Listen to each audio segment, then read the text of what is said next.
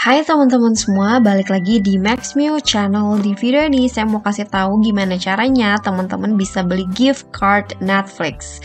Jadi gift card Netflix biasanya dipakai untuk kasih seseorang atau dipakai kita sendiri biar kita bisa tonton Netflix secara uh, jadi langganan Netflix ya.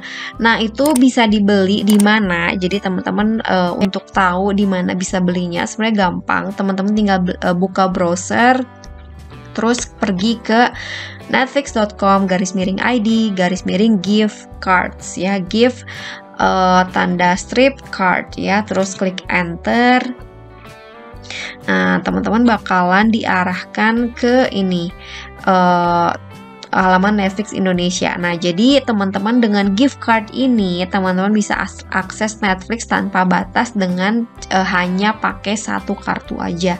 Nah, ini tuh bi bisa dipakai untuk bayar keanggotaan atau nih dihadiahkan untuk seseorang yang istimewa, misalkan mau ngasih ke temen yang ulang tahun, uh, pacar, pasangan atau siapa pun itu ya. Nah, bisa dibeli di mana? Di sini tinggal scroll Nih, jadi kalau di Indonesia kita bisa beli di Alfa atau di Indomaret. Nah, tinggal bilang aja mungkin ya ke kasir mau beli kartu Netflix gitu. Nah, cara kerjanya teman-teman tinggal scroll lagi ke bawah. Jadi ini gampang banget ya e, pakainya, tinggal e, bisa ditambahkan ke akun yang lama atau pakai akun yang baru. Nah ini tuh jadi e, sistemnya kayak uang tunai dia diterapkan ke akun sebagai saldo hadiah. Jadi kalau misalkan saldonya sebelum habis, uh, itu bakal dikasih tahu misalkan limitnya udah mau habis. Nah, terus kalau misalkan masih bingung bisa ke pusat bantuan. Nah, untuk kalau misalkan teman-teman udah beli terus mau tuker hadiahnya, teman-teman tinggal uh, pergi lagi ke halaman ini terus ini ada opsi tukarkan kartu hadiahmu. Diklik aja.